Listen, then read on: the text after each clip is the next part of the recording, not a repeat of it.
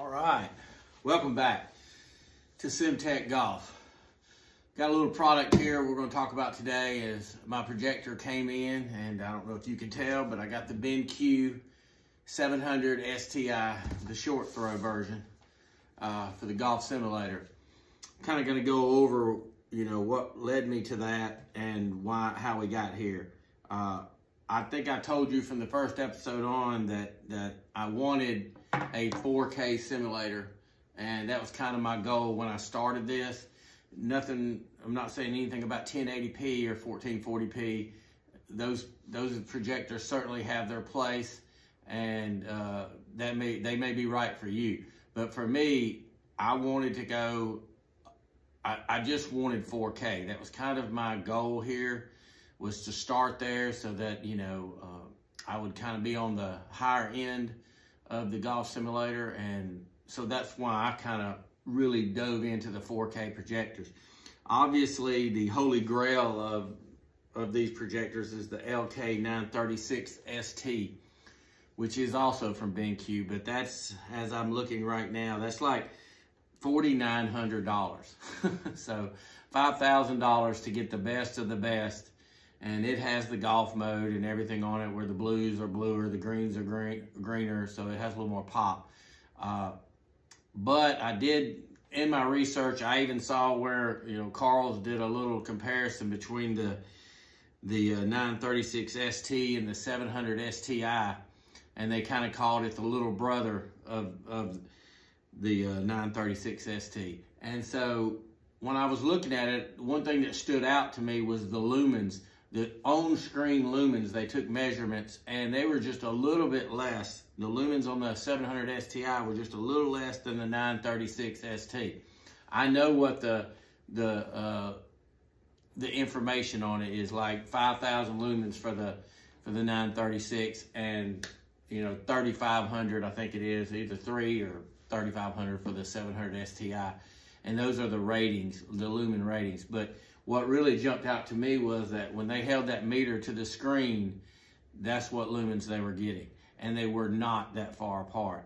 They were definitely not far, enough far apart for me to justify spending $5,000 on the 936 as opposed to 1500 for the 700 STI. Uh, I do not believe that this is the last projector I'll get. If anything, at some point I will go to the 936, hopefully uh, if it comes down in price at some point and I can pull that trigger. But again, when I'm looking at my budget, I have to decide, do I want to spend $5,000 on the on the projector or do I want to spend 1500 And and I'm willing to spend $5,000 if I see enough of the jump in it for me to do that. And at this point, I just didn't see it. Uh, now, let me say this. I do not have the 936, so I have not set it up and compared it and looked at it. I just was going off comparisons that were on YouTube, done by professionals, and, and what jumped out to me was I'm getting a heck of a bang for my buck with this 700 STI 4K, as opposed to paying the premium markup on the 936 at $5,000 because it's the top of the line. And hey, if you want top of the line, nothing wrong with it. Go get it. Uh, at this point, I just wanted to spread my money out in other places, uh, such as, like you saw the earlier episode of this, was the Sig Pro Softy mat. That by far is not the cheapest. As a matter of fact, it's the most expensive. Uh, but it was important to me to to get a mat like the Sig Pro Softy, the 4x7, to be easier on my elbows. I'm hitting off a concrete floor and and I want something that's going to hold up and that's going to do me right. That to me felt worth it to get the top end was the mat. Uh, and this to me is worth it as far as bang of the bang for my buck. It's 4K. It's true 4K, so I'm very happy with that. As a matter of fact, I do have it running on here and uh, and we'll show you some video here from it in a minute. But I hooked it up. I've got it mounted to the ceiling, and uh, I'm very excited about it. The pictures on here they they kind of blow me away, and so I am happy with where I'm at. Uh, but it did take a lot of research. It took, I ordered this, it took, uh, it took a month to get here. I think they were back ordered. Uh, but eventually the BenQ uh, sent it to me, 700 STI, uh, sent it here, and I'm very happy with it at this point. Like I said, I do want to preface that with I, did, I have not mounted any other projector up here, so I don't have anything to compare it to real world, me looking at it. But I will say, if it's better than what I'm seeing on here, I would be, I mean, it may be better, but if it's drastically better, I would be surprised. This thing has plenty of lights. As you can see, I actually have a fluorescent light above my head. And uh, it's probably, I would say 20 feet away from the screen. Yeah, about 20 feet away from the screen. And this projector is popping. It's there, there is no uh, washout that I'm seeing. I do not have anything behind my screen. You know, some I know Carl's makes a, a black enclosure to go behind it. Mine's on a garage door. I've got heavy black curtains on both sides of the opening of my garage, so this is really enclosed in blackness. And so I don't have light bleeding through or anything like that, so I didn't really even need the the the black uh, cover behind the screen. I just went with a basic Carl C enclosure and did not add the uh, back attachment to it. So, and I get plenty of, of pop with this with this projector. So my initial impressions, I am very happy with the BenQ 700 STI. Uh, I went through a lot of research, talked to a lot of people, and for the and getting your best bang for the buck, I do believe this is it. Uh, and I'm happy with it. It does come with a dongle, like a TV dongle that you put on the back. I'm sure you've all seen the videos. Uh, it gives you the access. I got Fubo TV, so it gives me the access to Fubo and all the other, you know, things that you would like to stream on here. And that's the funny thing. I really bought this just totally for the simulator aspect, the golf simulator aspect of it. But now I find myself in here quite a bit watching sporting events. I am a I am a uh, sports nut. I like you know I'm in the Braves. Uh, I I watch some Hawks uh, for Atlanta. I'm from born in Atlanta. I live in Tuscaloosa now, but I do follow the Braves. I do follow the Hawks. I do follow the Falcons. I'm into college basketball a lot here at Alabama, college football. So I am a sports enthusiast, I would say, as far as watching it. And I find myself in here watching it uh, probably way more than I should, but you know, it's a like 168 inches of TV here. So that uh, that's hard to beat. And, and, and the clarity of it is what got me. I mean, it's, it's got me. I'm just going to say that. Anyway, uh, so I do want to talk about that. The TV dongle comes with it. It's got a little dedicated HDMI port that you plug into the back of your, into the back of the projector. And then if you're going to hang it from the ceiling like I did, and I'll show you it in a minute. You actually do. You hold it, it mounts upside down. And then when you go into the settings of the projector, it gives you like four listings of how you can mount it. And when you select ceiling, it flips the image for you automatically and then gives you a upside down image until you mount it up and then it's obviously right side up. Uh, so the mounting was fairly easy. You know, you're gonna get your short your, your throw ratio. I believe mine was something like 13 feet to maybe 17 feet or 16 feet. It was like two or three feet, 13 to 15, 16, something like that. Anyway, what I did is I got on my, I got a ladder and I got up there and I, you know, tried to simulate mounting it, you know, real low, real high. The thing with the BenQ 700 STI is I think you do got to get it 13 feet. So if your hitting area like mine is around 10 or 11, then you do have to worry about the shadows that it's going to cast from behind you. So yes, mine is probably, I would say maybe, maybe a foot and a half behind where I'm hitting. And then the, it's kind of mounted maybe six to eight inches off the ceiling.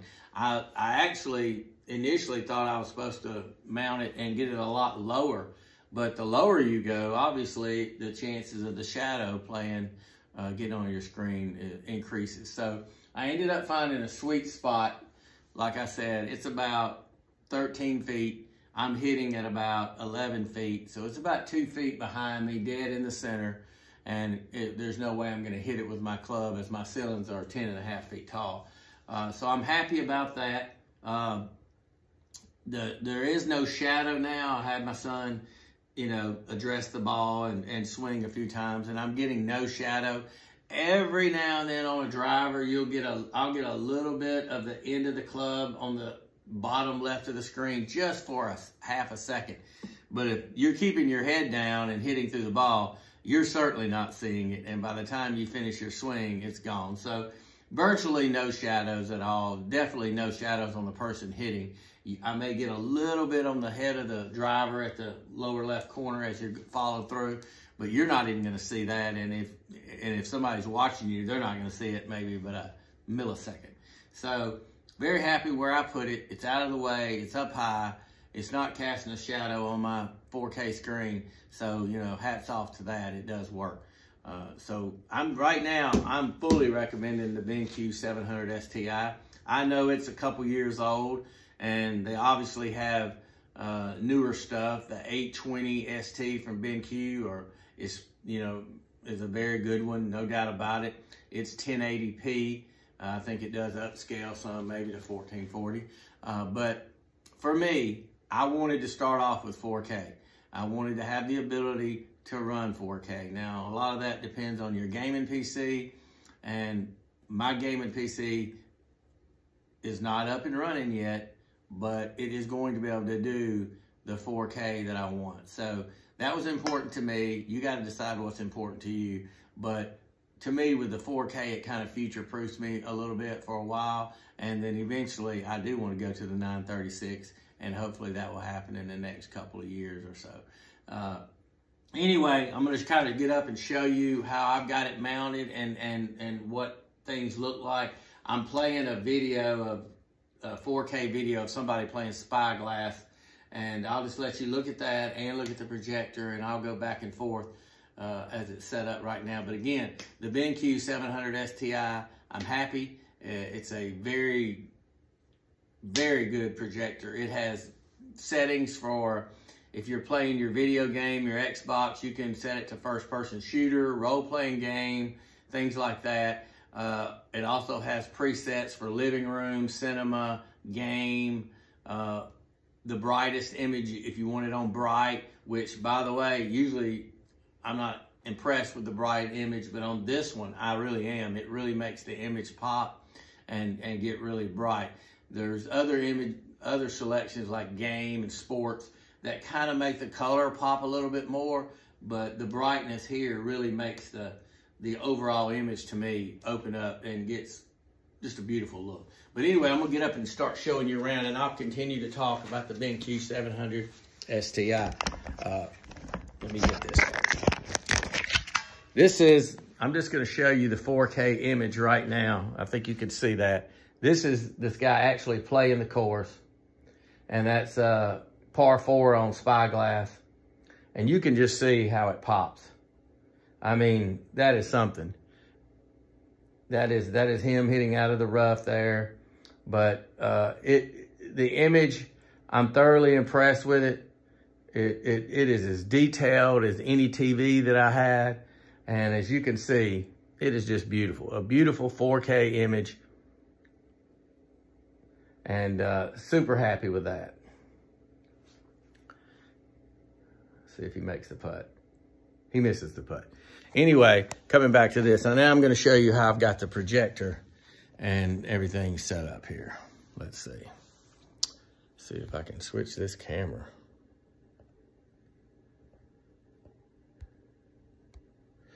Well, I can't figure out how to do it, so let's do this. You can see the projector. There it is in relation to the screen.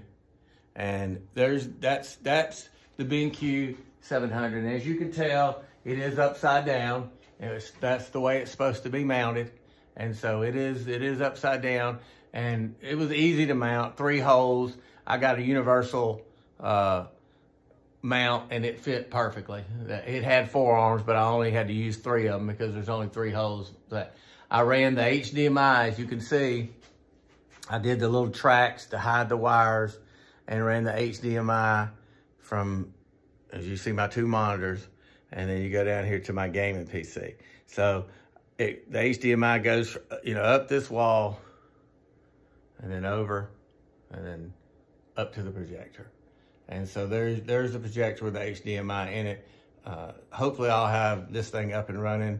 You can see the extension cord I have running from the projector to where the actual motor for the garage door was. And so I still got that power up there. So that powers the projector. So I'm pretty happy with that.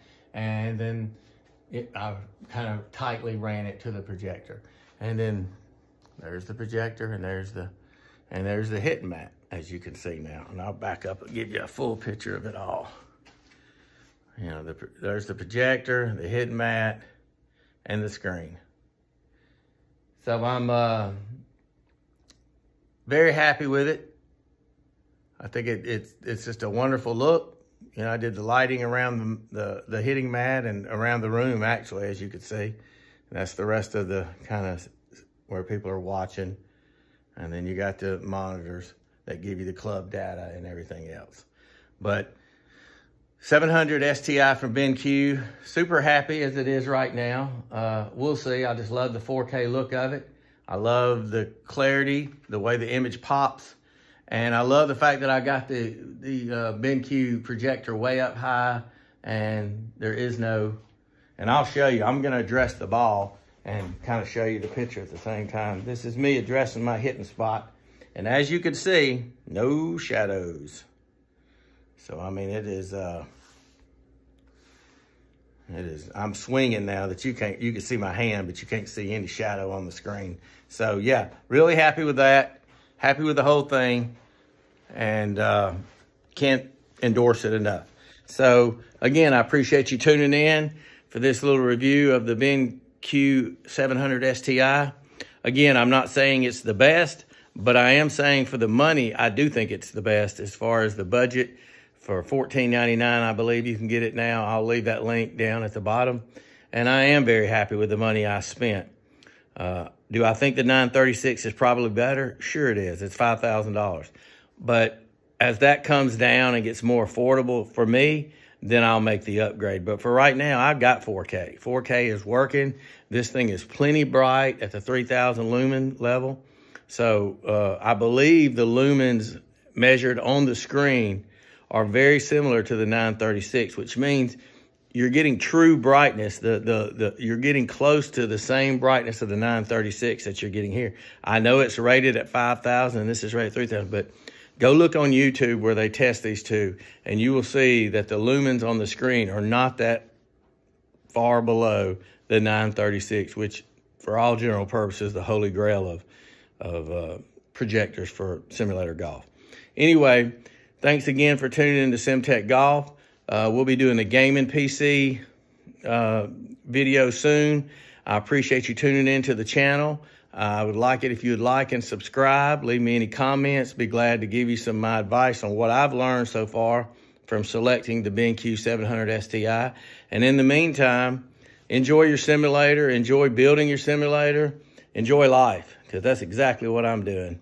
Thanks again for tuning in to SimTech Golf.